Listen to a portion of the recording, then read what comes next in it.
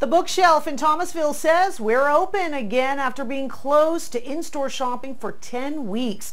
Owner Annie Jones says she wanted to be smart and kind to the community, and she felt like reopening their doors for 30-minute appointments this week was the best way to ease back in. Customers and staff are required to wear masks and they're sanitizing after every appointment. So far, they've had a steady stream of people coming in.